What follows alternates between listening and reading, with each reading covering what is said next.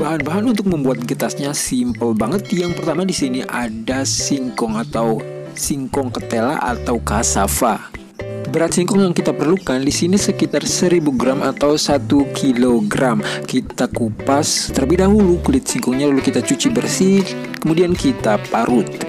Pilih singkong yang kualitasnya bagus, yang tidak berair dan tidak boleng atau busuk. Parut singkong hingga habis, kemudian selanjutnya kita siapkan bahan yang kedua, yaitu kelapa. Di sini kelapanya pakai seperempat butir kelapa atau beratnya sekitar 150 gram. Kita parut juga kelapanya sampai habis. Kemudian selanjutnya kita ke tahap selanjutnya. Setelah singkong parut dan kelapa parutnya siap, kemudian kita campur menjadi satu. Masukkan kelapa ke dalam parutan singkong, lalu kita tambahkan. Selanjutnya itu ada bahan yang ketiga, yaitu margarin tambahkan 2 sendok makan margarin. Di sini saya pakai merek Blue Band yang cake and cookies. Pecinta majak di rumah bisa pakai jenis margarin apa pun. Selanjutnya kita tambahkan 1 sendok teh garam. Lalu kita aduk rata, campur rata sampai semua bahan menjadi adonan menjadi satu maksud saya. Setelah semua bahan tercampur rata dan siap, selanjutnya kita bagi menjadi empat bagian. Di sini nanti akan diberi warna tiga warna dan satu warna putih. Kita bagi adonannya menjadi tiga bagian di atas piring atau teman bisa pakai wadah mangkuk, baskom, lain sebagainya. Kita bagi menjadi tiga yang akan diberi warna dan satu yang tetap berwarna putih saja. Untuk adonan yang pertama saya beri kasih warna pink atau merah rose, kemudian yang kedua warna biru tua, dan terakhir warna hijau. Untuk resep lengkapnya teman majak di rumah bisa cek di deskripsi box di bawah video. Campur rata warnanya hingga tidak ada adonan yang berwarna putih. Tercampur semua dengan warnanya masing-masing.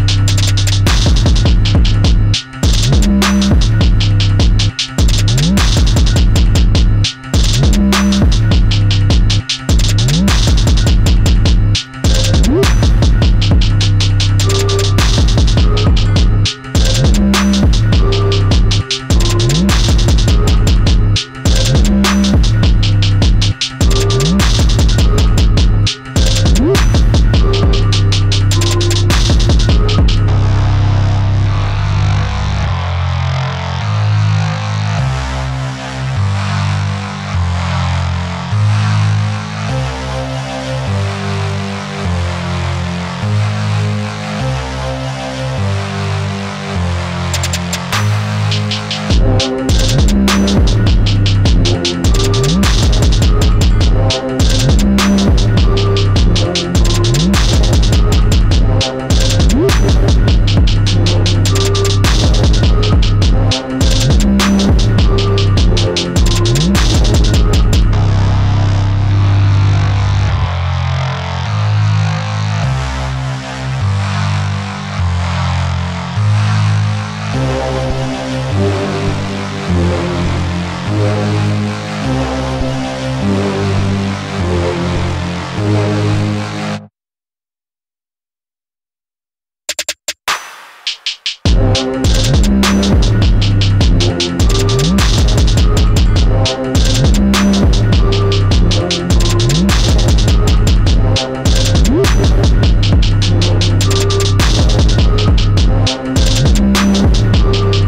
150 gram gula pasir kita campur dengan 50 ml air. Kemudian biarkan sampai gula pasirnya mengental lalu kita bisa langsung masukkan getasnya dan ini dia hasilnya nanti. Atau bisa langsung pakai gula bubuk saja. Kita campur kita kocok-kocok di dalam uh, plastik lalu kita bisa langsung sajikan. Yam yam cuy. Mantep bukan?